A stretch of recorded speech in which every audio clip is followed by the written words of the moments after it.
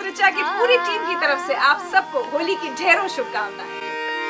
खेले मसाने में होली दिगंबर खेले मसाने